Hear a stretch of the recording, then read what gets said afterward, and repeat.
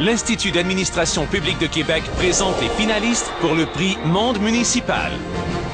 La ville de Bromont, la ville de Chambly, la ville de Québec.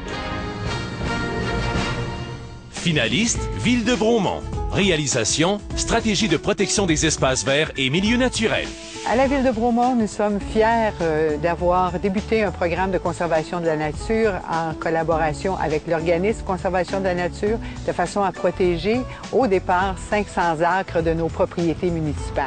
La stratégie de protection des espaces verts vise à protéger plus de 8% du territoire de la ville.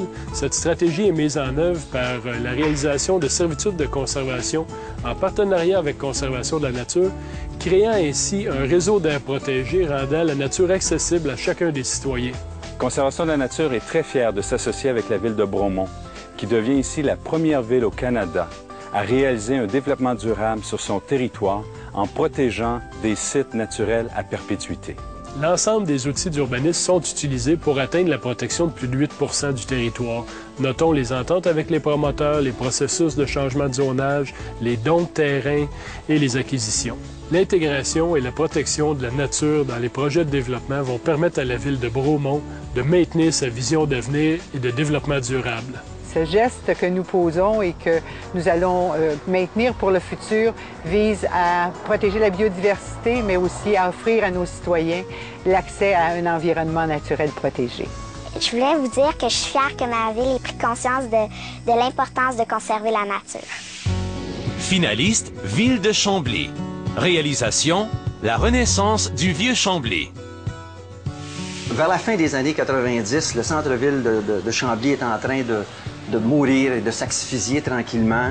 Euh, les immeubles tombaient en, décrépitude et les infrastructures étaient rendues complètement désuètes. Lorsqu'on une ville entreprend un projet de, réhabilitation des infrastructures, on pense au béton, à l'asphalte, aux tuyaux, mais on est allé au-delà de ça parce qu'il s'agissait de faire revivre un centre-ville. On a mis beaucoup d'efforts euh, pour faire en sorte que le milieu s'investisse et fasse partie prenante du projet.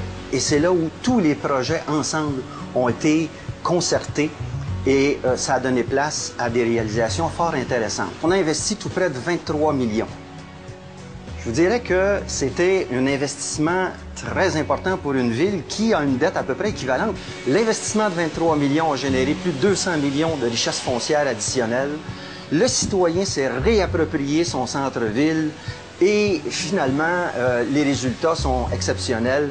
Et au niveau des coûts, tout ça, oui, c'est un investissement de 23 millions, mais à travers les programmes de rénovation, l'investissement privé, etc., ben, ça a augmenté la dette d'environ 10 millions au maximum.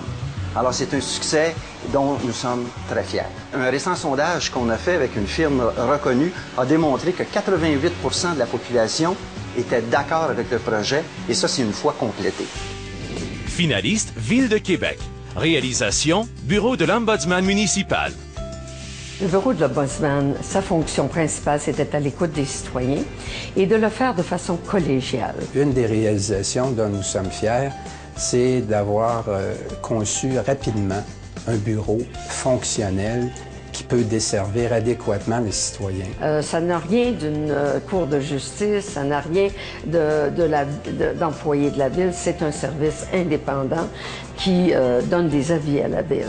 C'est un endroit où le citoyen euh, peut venir une fois qu'il a épuisé ses recours administratifs normaux dans l'appareil administratif pour euh, se faire entendre. Ma fonction, c'est de choisir trois experts euh, dépendant de la nature de la plainte que nous entendons.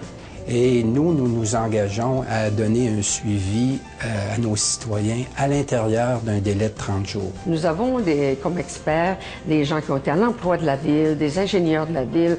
Euh, la plupart sont retraités. Et ce qui est intéressant, nous sommes tous des bénévoles, incluant moi.